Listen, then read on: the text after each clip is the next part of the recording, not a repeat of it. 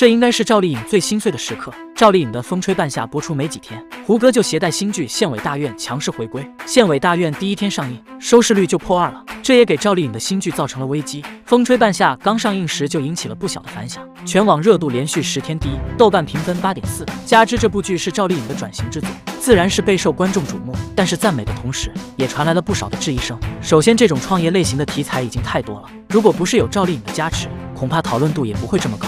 其次是《风吹半夏》的档期问题，播出时刚好赶上了世界杯，紧接着又是胡歌的《县委大院》，这种种原因加起来，给赵丽颖的新剧造成了一定的影响。好在一部好剧是经得起考验的，《风吹半夏》随着剧情的展开，口碑也在慢慢回升，赵丽颖的演技也得到了观众的肯定。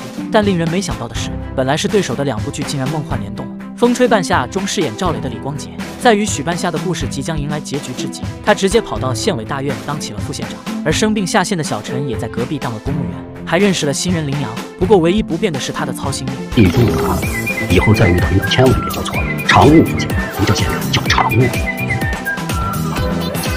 县委副书记兼着副县长不叫县长，叫书记。县长助理不叫助理，叫县长。都是副县长，同时是常委的，得叫常委，懂吗？注意点那个什么，我会给他的助手打电话，我说怎么样了？怎么样？他们说不太好，哭着呢。我心里咯噔一下。赵丽颖为何主动放弃儿子的抚养权？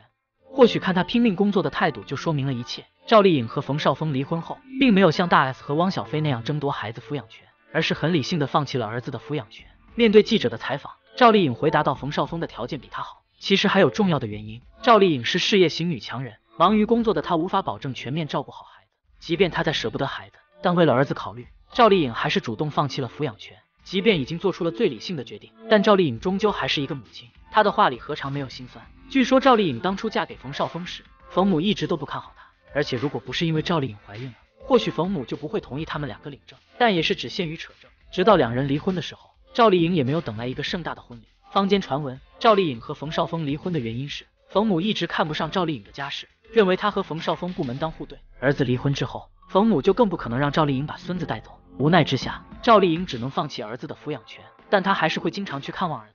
或许就是因为太放不下，所以赵丽颖才会在节目中痛哭。在赵丽颖婚姻破裂、尽显落寞时，只有吴磊把她当成小仙女，变着法哄她高兴。赵丽颖官宣离婚后不久，参加了一个综艺，当时嘉宾们都聊得热火朝天，只有赵丽颖一个人融不进去。这时吴磊发现了她的不自在，于是他悄悄拿出一把发射爱心的玩具枪，先是就近喷了两下，看赵丽颖没有反应，吴磊干脆起身发动气氛攻击，这才把他的情绪给提了上来。之后吴磊更是时刻关注赵丽颖的心情，当赵丽颖在转盘上写出有饭吃不用做的心愿时，其他人都觉得不现实，吴磊赶紧出来解围，还写一个帮他当吴磊写出自己的愿望时，赵丽颖也被他给逗乐了。看起来心情缓和了不少。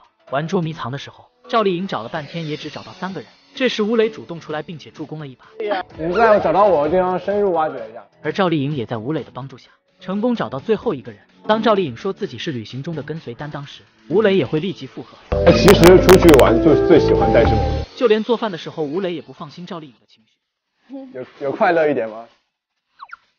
有快乐一点。听到赵丽颖的回答，吴磊才安心回到厨房继续干活。